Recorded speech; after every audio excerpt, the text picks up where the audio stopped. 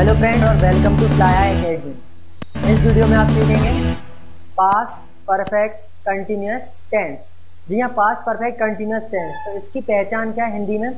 जो आपकी past continuous की पहचान है, वो इसकी पहचान है।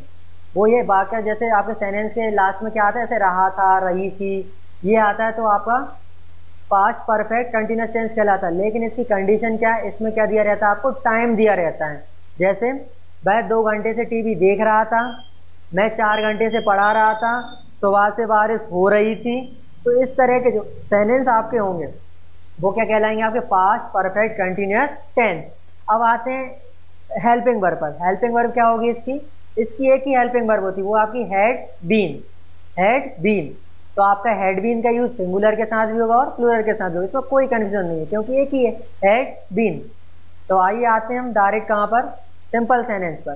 तो सबसे पहले हम फॉर्मूला लिखेंगे। फॉर्मूला होता है इसका subject plus had been plus verb का first form plus I N G plus object तो इसमें आपको पता ही है कि भाई परफेक्ट है तो इसलिए परफेक्ट की हेल्पिंग वर्ब लेते हैं हेड और आपका कंटिन्यूस है, इसलिए वर्ब की फ़र्स्ट फॉर्म के साथ क्या आएगा? आई एन जी आएगा। हाँ तो अब इसके बाद हम सेंटेंस बनाते हैं। जैसे पहला सेंटेंस ही आप देख लीजिए। कोई सा भी उठा लेते हैं हम। जैसे वह दो घंटे से टीवी देख रहा था। वह दो घंटे से टीवी देख रहा था तो रहा था आ रहा है और दो घंटे आ रहा है। इसलिए कौन सा है? पास्ट परफेक्ट कंटिन्यूस टेंस तो इसका क्या वह मतलब he had been watching TV for two hour for क्यों आया? क्योंकि आपका पीरियड ऑफ़ टाइम हैगा। तो he had been watching TV for two hours जैसे हो जाए सुबह से बारिश हो रही थी।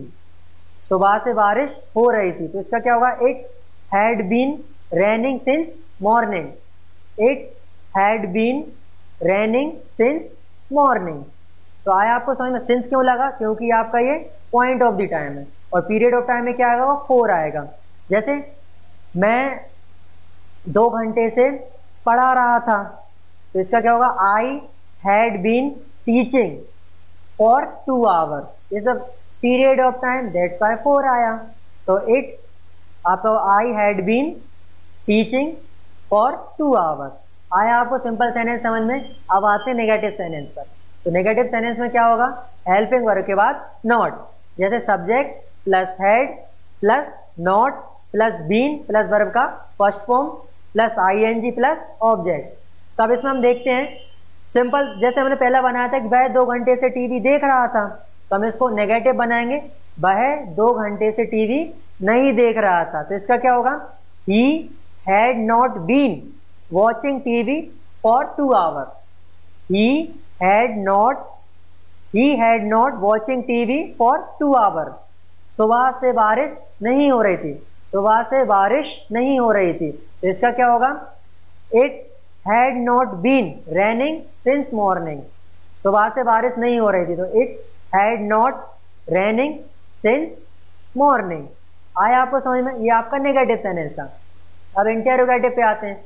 इंटेरोगेटिव मीन्स क्वेश्चन तो इसका, आपको पता है इंटेरोगेटिव बनाएँगे तो क्या करेंगे? सबसे पहले हेल्पिंग वर्ब को रखेंगे। तो क्या होगा आपका? Had plus subject plus been plus verb का first form plus I N G plus object तब जैसे हम कोई क्वेश्चन बनाते हैं, क्या सुबह से बारिश हो रही थी? क्या सुबह से बारिश हो रही थी? तो क्या होगा इसका? Had it been raining since morning had it been raining since morning क्या वह दो घंटे से टीवी देख रहा था?